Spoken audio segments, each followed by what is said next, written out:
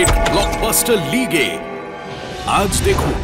শুভ দৃষ্টি ঠিক সন্ধে সাতটায় কালার্স বাংলা সিনেমায়